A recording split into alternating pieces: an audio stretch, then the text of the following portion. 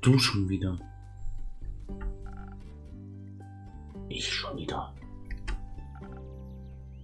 Und du bist...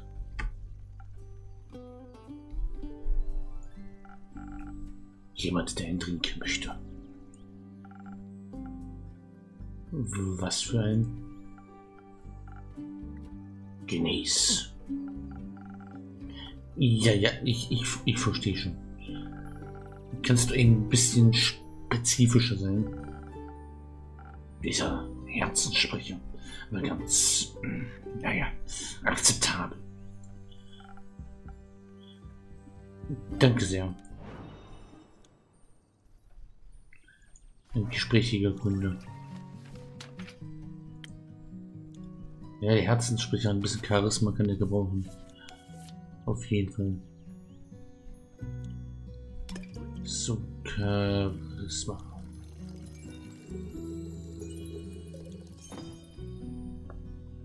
So, hier noch ein bisschen stärker.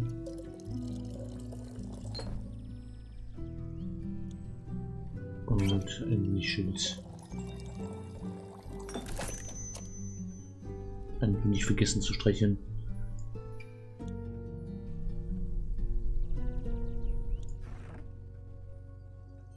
Was eine Süße.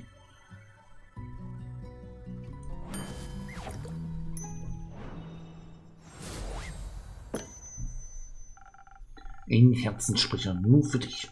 Vielleicht hilft er dir ja dabei, die richtigen Worte zu finden. Netter Versuch. Kann man trinken. Vielleicht komme ich ja noch mal wieder. Vielleicht auch nicht. Danke, guten. Und weg ist er. Reizt.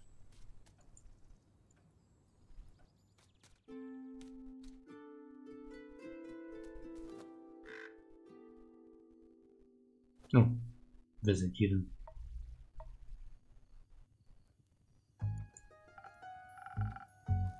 Obacht, tretet nicht auf meinen Mantel. Halt die Füße. Zum, zum Grußreisende. Wie kann ich helfen? Erks, nicht noch so ein Zulitzkopf.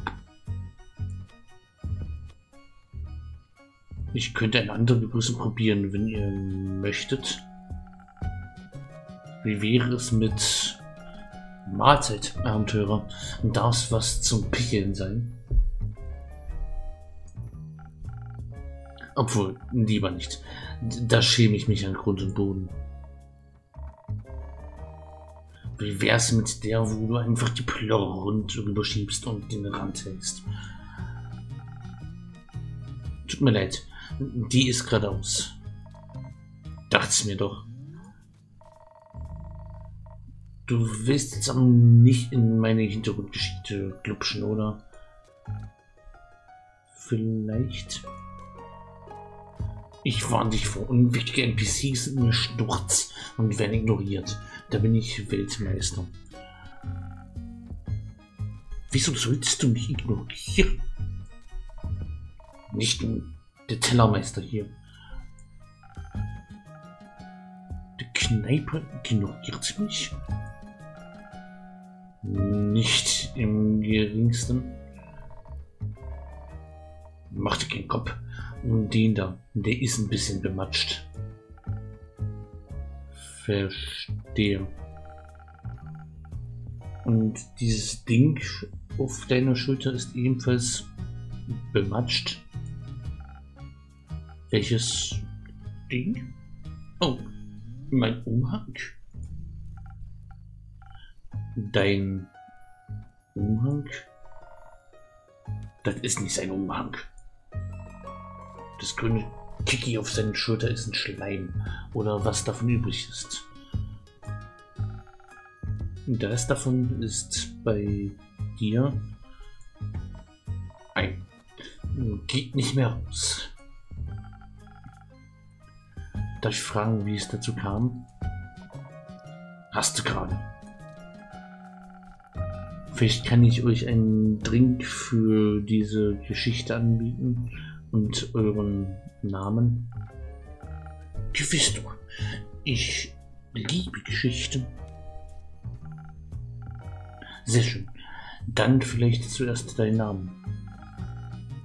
Oh, ich werde euch nicht meinen Namen überlassen, aber ihr sollt ihn erfahren.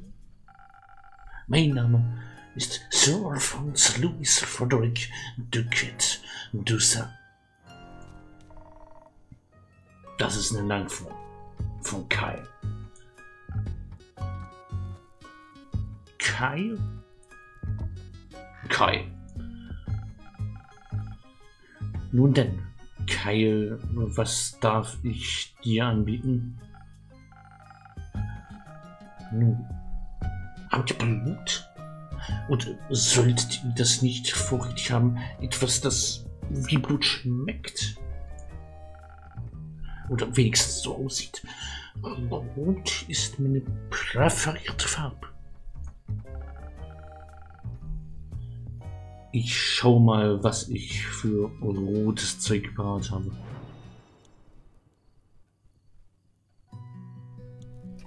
Rot, da haben wir ganz viel, ganz viel Stärke, genau. Machen. Ein Drink, ja, wir haben einen Tropenpunch. Der käme in Frage. Und sonst kennt ihr auch einen ganzen den ganzen Messbecher rot. Geben, das könnte auch gefallen. Das ist nicht der richtige Ring. Okay. Darf Ando mal ein bisschen. Äh. Vielleicht bin ich mit der Maus ein bisschen. Aber ja, das, das Kippen ist ein bisschen, keine Ahnung, das. Ich glaube, ich bin mit der Maus ein bisschen. Ich halte das falsch. Ja, okay.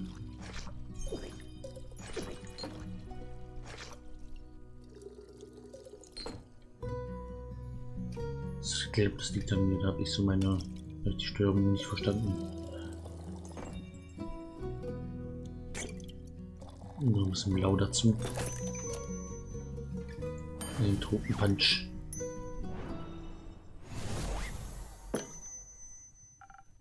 Etwas fast Blut für euch, der Herr. Oh, tausend Dank. Das sieht ausgesprochen deliziös aus. Und schmeckt ebenso so lebendig. Dürfte, dürfte ich als Digestiv vielleicht ein kleines Stück von euch? Nein. Nun gut. Und wem darf ich den Nix-Drink anbieten? Oh ja, Frostgap. Nützt dich Kind zu... Ja, ja, mach hin.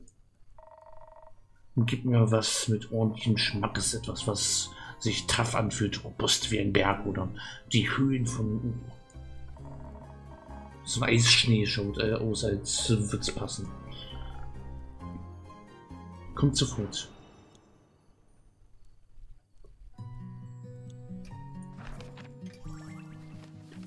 Eisschnee. Mhm.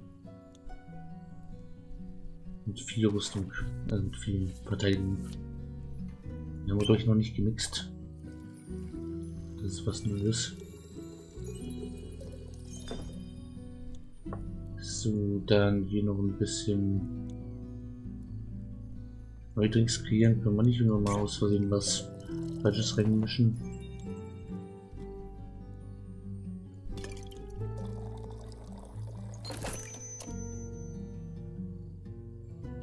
Ich habe aus Versehen richtig gemischt. Was wenn wir jetzt hier ein bisschen experimentell gehen? Ist das einfach nicht der richtige Drink. Okay. Also experimentieren können wir hier leider nicht. Dann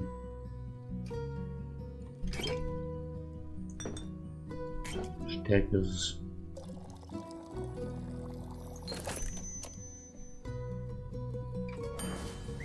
Na dann. Raus damit. Geschmack von Uhr kommt frisch herbei für die geschätzte Kunde Nummer 2. Jetzt haust du noch den Platzhaltertext raus, wie? Lass mal rüberwachsen. Mhm. Du darfst ja eine Menge Clifflet.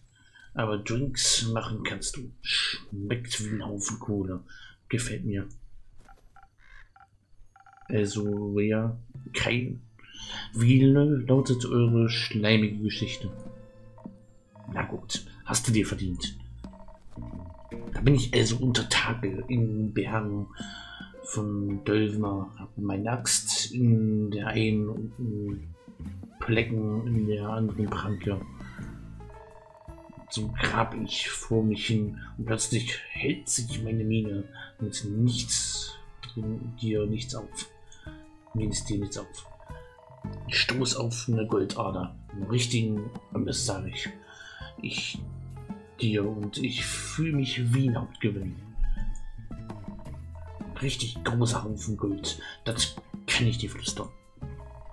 Und dann kommt plötzlich dieser Brackmann von Schleim und Schlurz.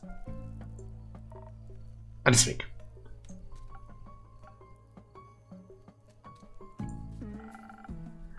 Diese Geschichte langweilt mich. Wir sollten uns die Suche nach meinem Umhang zuwenden. Der Lorenz ist bald am Start. Bitte. Die Sonne, Menschenskinder. Das große Ding, das dich umbringt. Na, natürlich. Die richtig freigeschaltet Fundsache. Hat der Schleim auch den Umhang gefressen? Ja. Nein.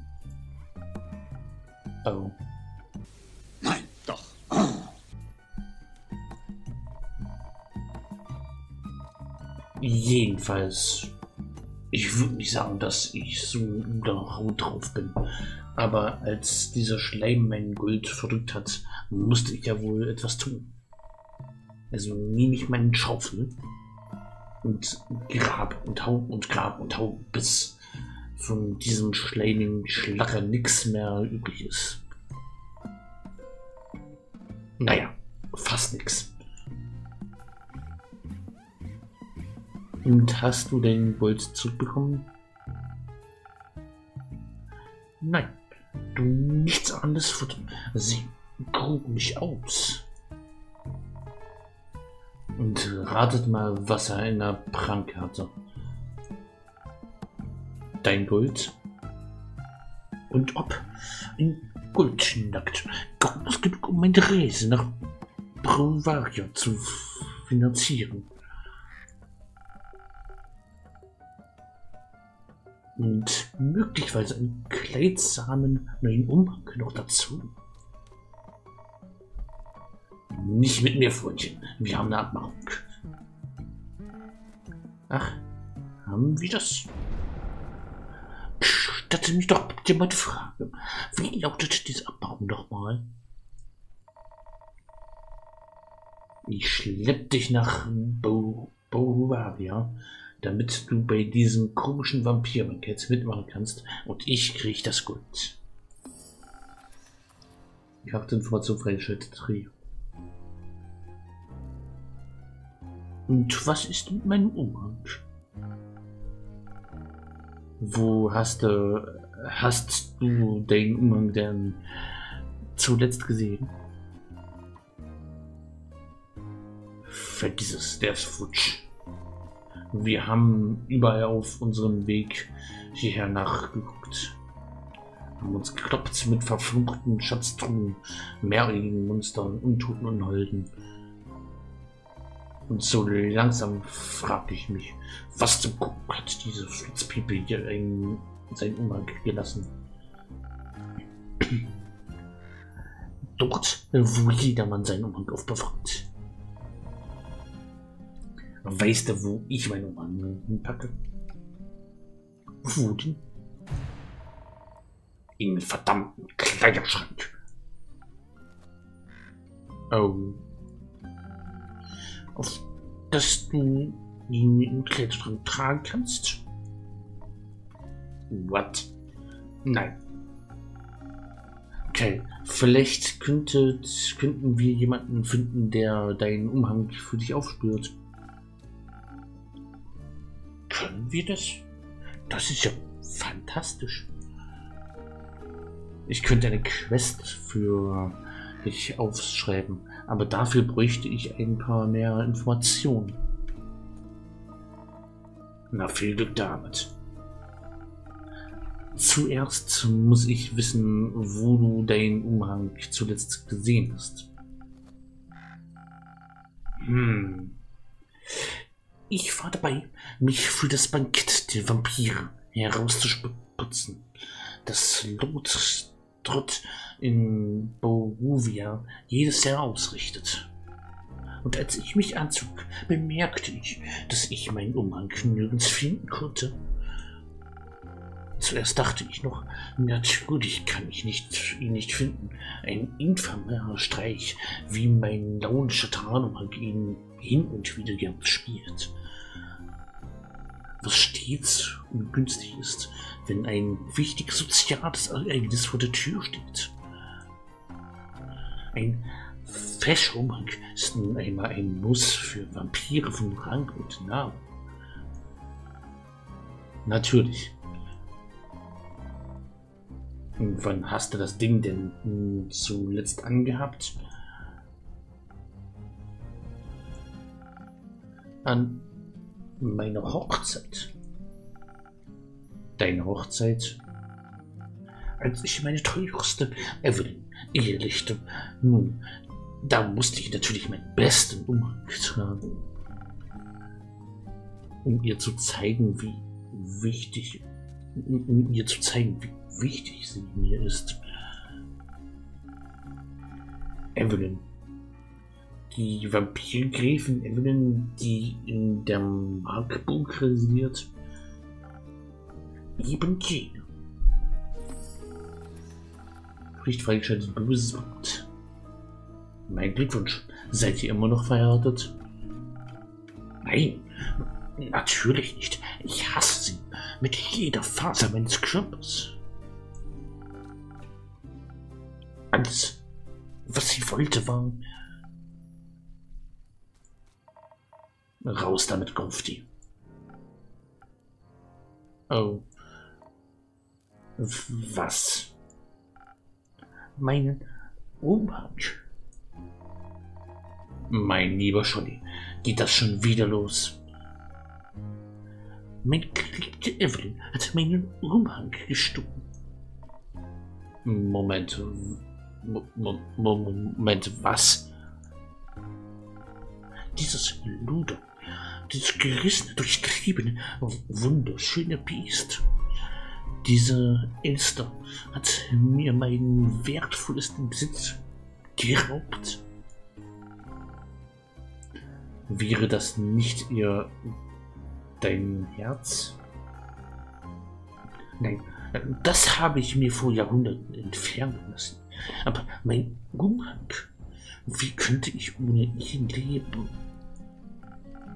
Oh, süße, süße Evelyn, wie konntest du mich nur so hintergehen? Mein Vertrauen, alles habe ich dir zu Füßen gelegt. Das ist auch nicht schön. Aber die Gastwirtin, so heißt sie doch, oder? Nein. Ich bitte, ich bitte tausendfach um Verzeihung. Wie lautet denn Euer werter Name? Aber Namen sind ein wertvolles Gut. Vorerst noch behalte ich meinen für mich. Für so mancher in der Tat. Aber aber ihr müsst einem neuen Freund gegenüber nicht solch ein mit Missvertrauen walten lassen. Alle meine Freunde nennen mich Gastwirtin. Nun gut, dann will ich das auch tun. Also, Gastwirtin, Ihr glaubt also, es findet sich eine tapfere Person, die meinen kostbaren Umhang zu retten vermag? Ich fürchte, meine geliebte Evelyn würde mich auf der Stelle töten, betrete ich noch einmal ihre Residenz. Ja, ich denke, das ist möglich. Schreiben wir die Suche am besten direkt aus. Wie könnten tapfere Abenteurer zur Markburg überhaupt gelangen? Hm? Jenseits des der Schrecken am Fuße des Gebirges, das an der Brust einer Hexe gemalt. Dort thront das Anwesen meiner geliebten Evelyn. Königin der Dunkelheit. Verführerische Gefahr. Gewinnerin der Flamenco-Wettbewerbs von 1467. Ein Wahrheit mag in der Lage sein, sie dort zu überlisten und mit dem Leben davonzukommen. Doch seid gewarnt, ihr Biss ist tödlich. Und unsichtbar ist es jetzt wahrscheinlich auch. Nicht freigeschaltet, unsichtbare Gräfin. Okay, ich glaube, ich habe alles, was ich brauche. Ich werde die Quest für dich ausschreiben. Dein Umhang ist bestimmt sehr bald wieder da. Das will ich doch hoffen. Was mich daran erinnert. Nicht noch mehr verdammtes Geschwätz. Gastwirtin, gib mir noch etwas zu picheln. Glaub nicht, dass ich mich noch mehr von dieser bedrüppelten Geschwätz ertrage, ohne mehr Ausdauer. Ich glaube, so ein Schnee tät, mir gut. Ja, damit. Mal sehen, was ich tun kann. Noch einen Eisschnee. Komm zu Fuß. Verteidigung, ganz viel in das Gerede. Da haben wir ein bisschen Stärke. Da brauchen wir aber noch ein bisschen Charisma. Wo mixen wir das jetzt noch mit rein?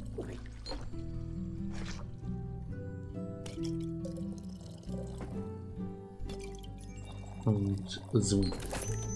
Ace Schnee.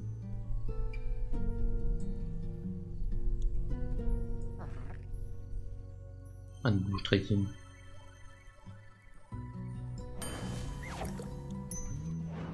Und hier kommt's.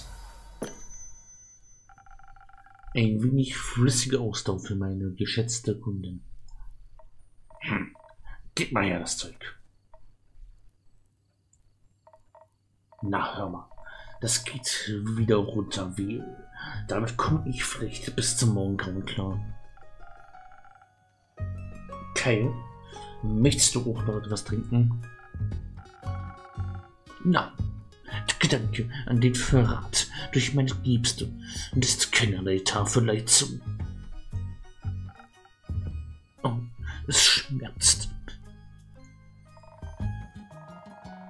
Bei dir schmerzt alles. Du hast den ganzen Weg hierhin herumgeschmoppert, weil du laufen musstest.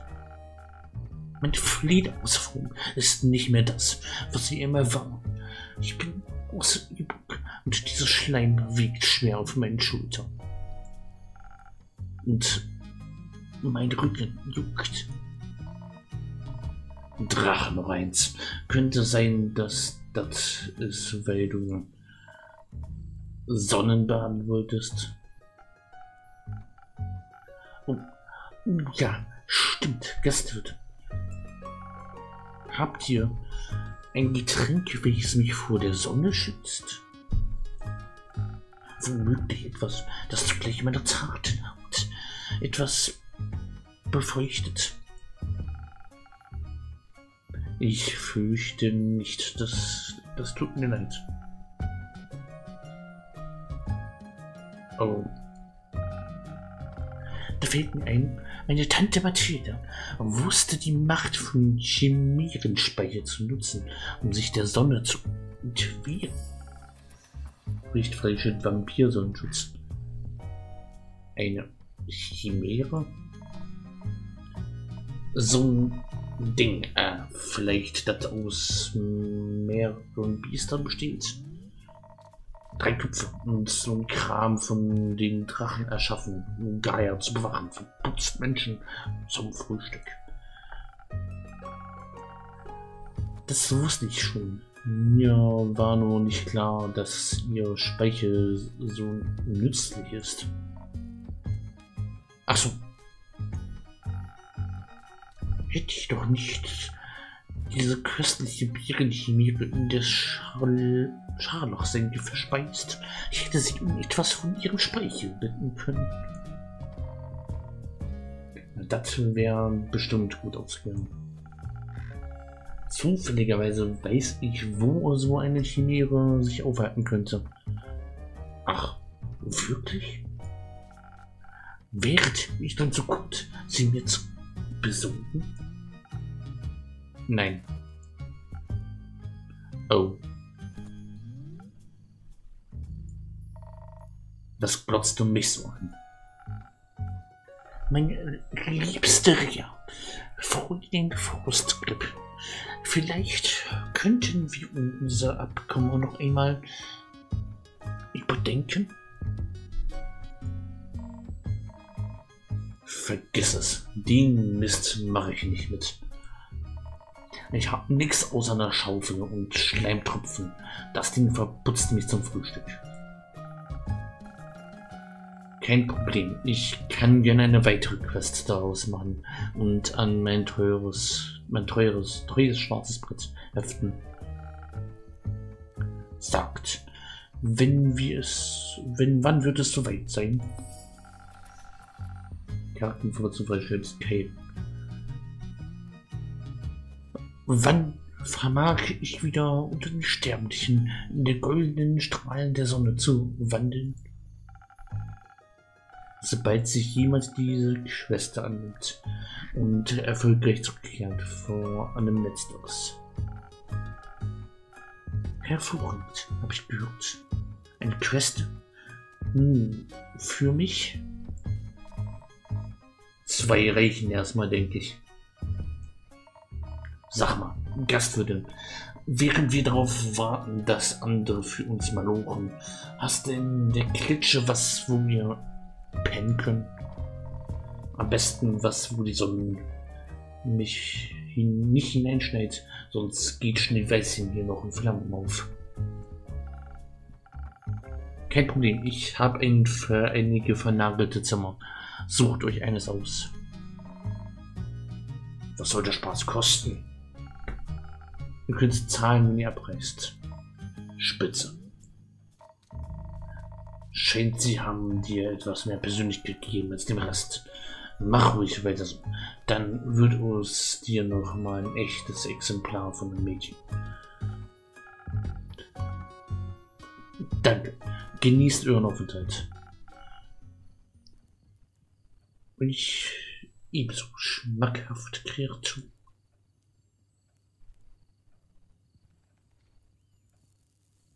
Und wir machen Quests. Ach du schon, die ist ganzer Haufen.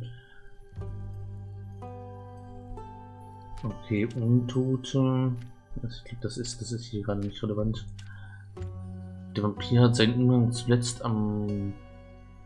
Diese S hier drauf gekritzelt. Das, das hat man immer, immer wenn man irgendwie rumkritzelt, hat hat man die immer irgendwie... Keine Ahnung. Vampir hat einen Umhang zuletzt an seinem Hochzeittag gesehen, wo bevor er Gräfin Evelyn heiraten sollte. Das kommt erstmal hin. Seltsamer Vampir sucht seinen Umhang. Er scheint etwas verwirrt. Er wollte einen Tagesspaziergang unternehmen.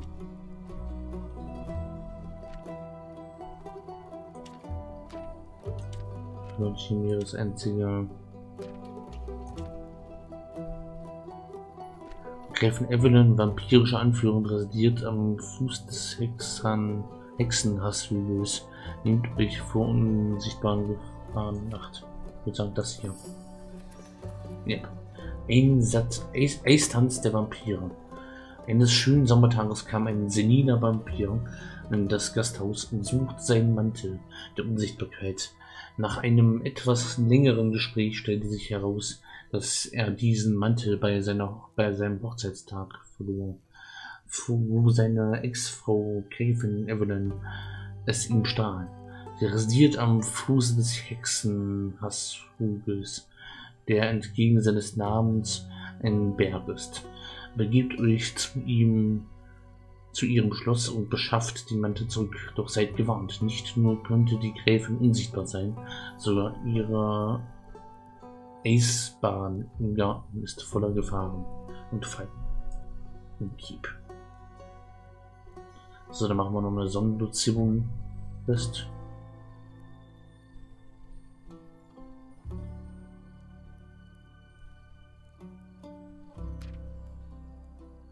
Das Einzige, was den grausamen Fluch der Sonne schützt, anscheinend Chimärenspucke.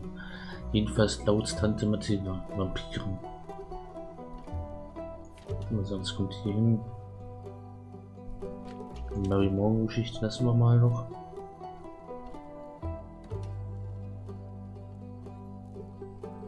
Und Truppen sind auch nicht das Ding. Chimäre.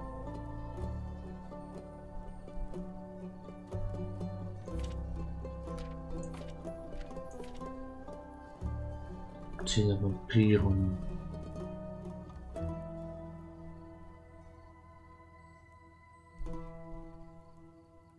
Der Maratin Hydra ist der Hass von Chimären auf Mäuse universelle Wahrheit oder braucht sie einfach nur einen rein, wer weiß.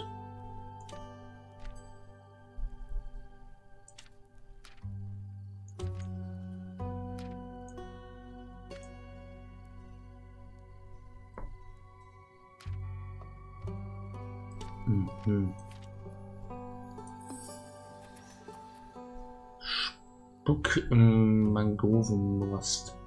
Tief im Mangrovenmorast schaut, haust ein Wyvern-Chimäre.